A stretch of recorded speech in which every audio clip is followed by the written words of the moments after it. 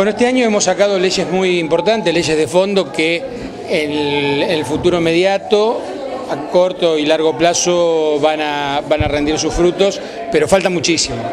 Eh, yo creo que falta definir un, modelo, un proyecto de, seguridad que pueda, pueda ser aplicable a la provincia de Buenos Aires. Hasta ahora hemos venido cortando modelos del exterior, tratando de, pegarlos y adaptarlos y, luego de cada uno de esos intentos eh, sobreviene una frustración. Creo que tenemos que juntarnos todos, oficialismo y oposición, tenemos que diseñar un plan. Yo siempre digo, para sintetizarlo, tiene dos patas esto decisión política y presupuesto.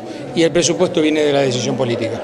Para terminar, ¿qué va a pasar con los famosos proyectos o anteproyectos sobre policía común? Eh, no tengo ninguna duda que durante el 2013 vamos a estar aprobándolo. Creo que ya es un, clamor no solo de, los intendentes, sino un clamor popular.